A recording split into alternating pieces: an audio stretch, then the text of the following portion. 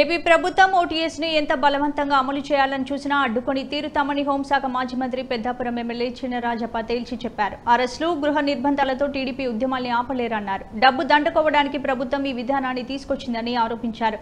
తూర్పుగోదావరి జిల్లా Telugu Desam party office నుంచి ర్యాలీగా వెళ్ళి కలెక్టర్కు వినతి పత్రం ఇచ్చారు.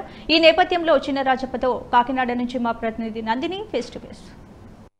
పేరుతో విధానంతో పేద ప్రజల పట్టాలకు సంబంధించి పూర్తి హక్కును కల్పిస్తూ మేము రిజిస్ట్రేషన్ చేస్తున్నాము. ఇది పేదలకు మేలు జరిగే విధానం అని చెప్పేసి రాష్ట్ర ప్రభుత్వం అంటుంది. ఒక పక్కన ప్రతిపక్షాలు అయితే దీన్ని తప్పుపడుతున్నాయి. ఈరోజు ఈ రోజు రాష్ట్రం అంతా కూడా టీడీపీ నిరసన బాట అయితే పట్టింది. ప్రస్తుతం మనం కాకినాడ టీడీపీ కార్యాలయంలో ఉన్నాం. మన దగ్గర ప్రస్తుతానికి ఎమ్మెల్యే పెద్దాపురం ఎమ్మెల్యే రాజప్ప గారు అలాగే మాజీ హోంమంత్రి గారు ఉన్నారు. ఆయనతో మాట్లాడే ప్రయత్నం చేద్దాం. సార్ చెప్పండి అసలు ఈ ఓటీసీ పద్ధతి ఏంటి అసలు?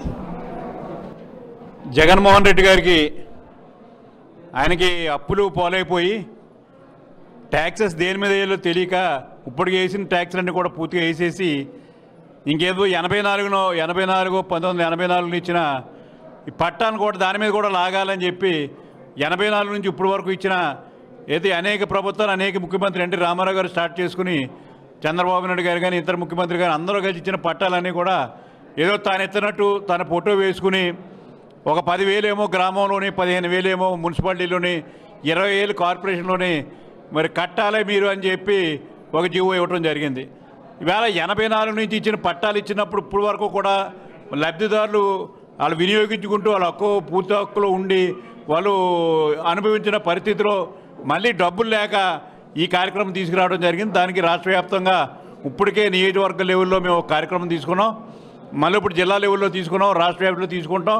ఎందుకంటే ఇవాళ ప్రజలకు అన్యాయం అయిపోతున్నారు ఇవాళ కనీసం మరి ఇవాళ కరోనా వచ్చిన పరిస్థితిలో ఒక ఐదు వేలు పదివేలు సాయం చేయండి అని చెప్పి ప్రభుత్వం డిమాండ్ చేసినా పట్టించుకోని పరిస్థితిలో ఈరోజు మళ్ళీ ట్యాగ్ ఇప్పటికే నిత్యావసర ధరలు విపరీతంగా పెరిగిపోయినాయి.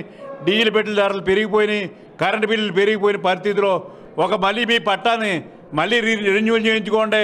ఒక పదివేలు కట్టండి పదిహేను వేలు కట్టండి ఇరవై వేలు కట్టాలని చెప్పి మరి ఆయన తీసుకున్న నిర్ణయం వ్యతిరేకించడం ఎందుకంటే పట్టా ఇచ్చిన తర్వాత వినియోగుడికి వినియోగదారుడికి లబ్ధిదారుడికి పూర్తి హక్కు వేల పట్టా ద్వారా వచ్చింది మనకి.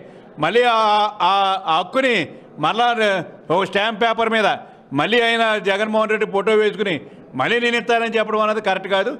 దాన్ని పూర్తిగా రాష్ట్ర వ్యాప్తంగా వ్యతిరేకించాం. అన్ని పార్టీలు కూడా వ్యతిరేకించినాయి. అయినా ఈయన పట్టించుకోడు. ఈయన కావాల్సిన డబ్బు అప్పులు పాలిపోయి ఏ దేని ద్వారా డబ్బు వస్తుందా?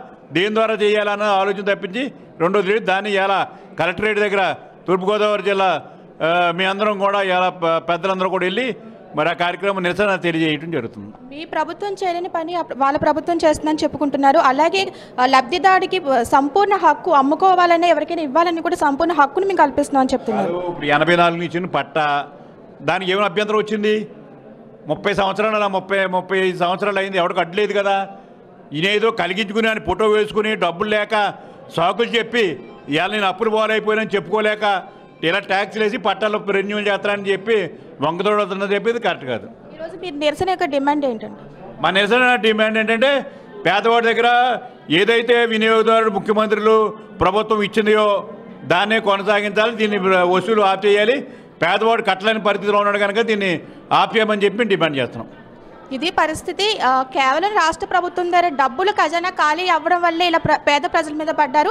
నిత్యావసర సరుకులు ఒక పక్కన పెరుగుతూ ఉన్నాయి కానీ నిత్యావసర సరుకులను పట్టించుకోకుండా ఒక ఒక పక్కన ప- పట్టాలు ఒక పక్కన మందు తగ్గించడం అన్నది రాష్ట్ర ప్రభుత్వం కేవలం తమ డబ్బును పెంపొందించుకోవడానికే తప్ప వేరే అయితే ప్ర ప్రజలకైతే ఎటువంటి దీని దీనివల్ల ఉపయోగం లేదని అయితే రాజప్ప గారు చెప్పడం జరుగుతుంది. కెమెరామెన్ రామకృష్ణతో నందిని భారత్